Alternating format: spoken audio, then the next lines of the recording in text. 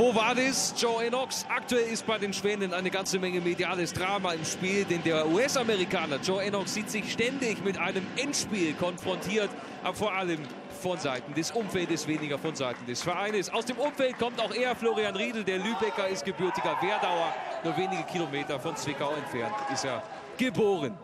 Hinein geht's in diese Partie, achte Minute, Lübeck in grün-weiß von rechts nach links und direkt ein kleiner Aufreger, denn Martin Röser, der Stürmer, geht hier zu Boden. Er ist ein leichter Kontakt da von Steffen Kanzer, aber von dem Foul kann hier keine Rede sein. Nur kurz danach gibt's diese Defensivaktion vom kroatischen Terrier, Joso Stanic. Und wieder gibt es die Aufforderung an den Schiedsrichter Florian Lechner, doch bitte auf den Punkt für den VfB Lübeck zu zeigen.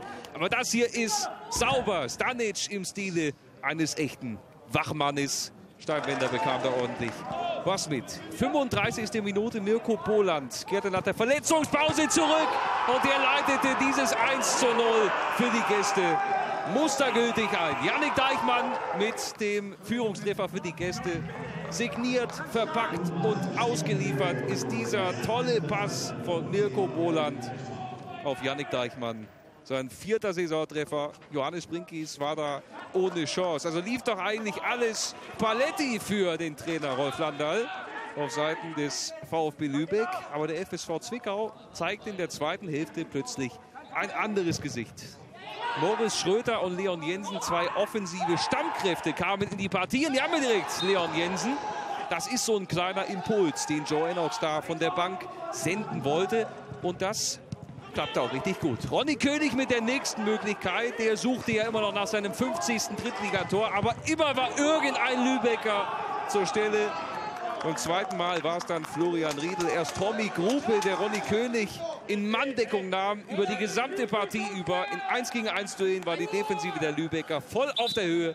Und Florian Riedel ist hier zur Stelle. Ein Chancenmarathon kündigte sich an zwischen der 62. und 64. Minute. Der FSV war wachgeküsst. Erst über Wilms. Lukas Reder bekam ordentlich was zu tun. Dann über Morris Schröter. Nur eine Minute später. Und beim dritten Versuch passierte dann plötzlich was. Manni Starke. Wieder Lukas Reder. Und da ist der eingewechselte Leon Jensen. Und dann ist er plötzlich da. Der Funkturm sendet wieder. Ronny König in der 64. Minute mit seinem 50. Drittligator. Und plötzlich war der FSV Zwickau wieder zurück in dieser Partie. Wohlgemerkt in den letzten 30 Minuten. 16 von 25 Gegentoren bei den Lübeckern fielen ab der 60. Minute. Einen Aufreger gab es dann aber noch. Elsa mit Ramay, mittlerweile auch eingewechselt, ging hier zu Boden. Leon Jensen zog den. Und das ist schon die Kategorie dunkelgelb, hellrot. Da hätte es durchaus auch eine rote Karte geben können für Leon Jensen. Lübeck musste sich also nicht durch spielerische Akzente zeigen. Es waren also eher die groben Varianten, die hier durch Torben Deters in den letzten zehn Minuten. Aber die letzte Großchance hatte dann der FSV Zwickau. 84. Minute, Morris Schröter auf Manni Starke, beide eingewechselt. Und dann ist der Ball im Tor. 2 zu 1 für den FSV Zwickau. Und Starke zeigt den Kritikern, bitte auch mal still sein. Da ist er also, der Namibier, der frühere U18 Faustball-Nationalspieler mit Balsam für die Seele zum 2 zu 1 in den FSV Zwickau. Und Joe Enox durfte tatsächlich jubeln. Es war heute zwei verschiedene Hälften. Wir haben in der ersten Hälfte äh, nicht das gebracht, was uns stark gemacht hat. Es war der Halbzeit, egal welche Formation oder Grundordnung wir spielen, äh, das gebracht, äh, was, wir, was wir können und was, äh, was wir gut machen.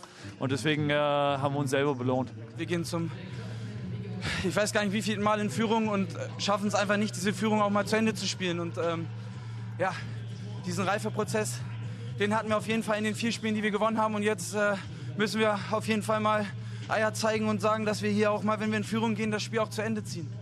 Wo sind sie denn eigentlich, die drei Punkte für den VfB Lübeck? Die letzten gab es Ende November. Das ist schon eine ganze Weile her. Der FSV Zwickau feiert mit Joe Enoch seinen allerersten Heimsieg seit dem ersten Spieltag gegen die Spielvereinigung Unterhaching.